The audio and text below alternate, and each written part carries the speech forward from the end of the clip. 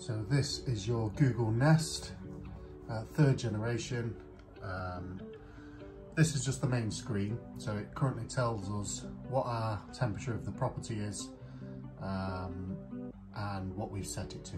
So the main screen there says 20 degrees, that's what we've told the boiler to come on at and reach the temperature. And if we twist the top up there, that is basically just turning it up and down. So at the minute, you can see how it says 20.5 in that corner.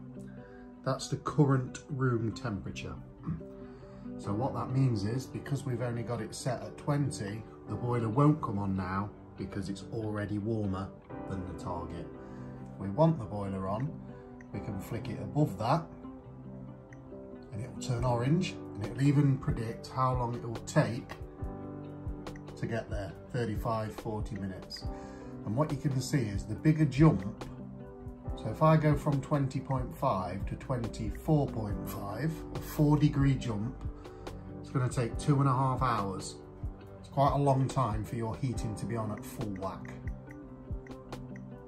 I'm just going to turn that back to 20 just there.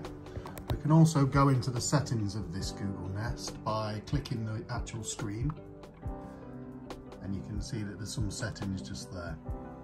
So let's run through these and we just twist the top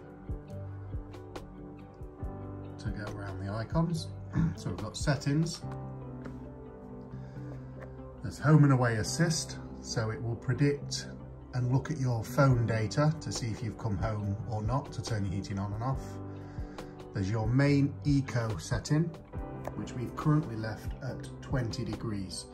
So that means this property will never drop below 20 degrees. You can change that, uh, but just bear in mind if you put eco at say 15, when you if it does drop to 15 and you turn the heating up to 20, it's going to have a five degree jump and it will use lots of gas.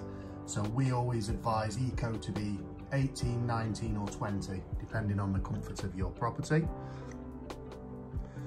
You've got safety temperature there, you've got the other products, you've got the display. And all we do to go into this is we just click the screen and we can change the display. So we'll put that on medium.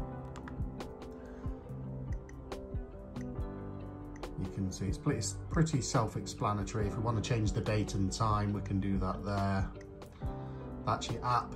If you ever want to connect your app with your phone or it goes off, go to that and click it and you can set that up.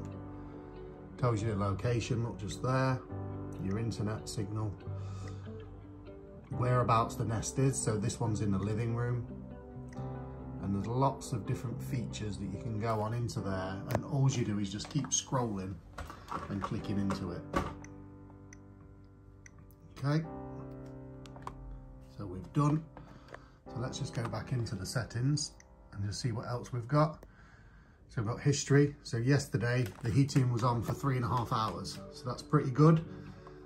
Um, that's not very long at all. So because this one's left at 20 degrees, it comes on for half an hour, 20 minutes, tops your house up, goes off. If I boost it up to 21, it comes on for a little bit longer.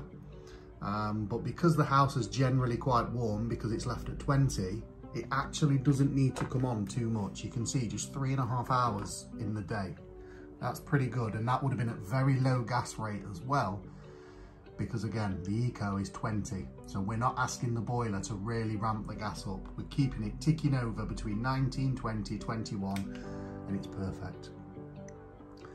You can go to schedule. so if we go there, that's when you can set your times up. If you do want it to come on and off at different times, you can do that in there. We twist, around to the top where the leaf signal is. That is the eco setting. So we can just leave it on eco all day if we like. And if we go around to the top where it's mode, um, we can turn the heating on or off. So if it's off, obviously it will never come on. So we want that heating mode on and it's pretty self-explanatory really. Um, that is it on the Google Nest. Obviously you'll have the app on your phone as well. So you'll be able to control everything from your phone. But if you don't have the phone and you just had the standalone Nest on the wall, then it's as simple as just turning it up and down or clicking the settings and doing what you want. If you want to schedule it, just twist it to schedule. And you can set your times up there, look. And you can even change the temperature depending on the time. Lots of different schedules you can do. So it's very easy, very easy to use and a good display. Um, the one thing you do have to bear in mind if you have this Nest or if you have it installed, obviously it needs to be hardwired or plugged in. Um, but yeah, re really good bit of kit, good smart control, good on the app and very easy to use. The screen does go to sleep, so you don't need to worry about that. But if you walk in front of the screen, it lights up as soon as you walk past.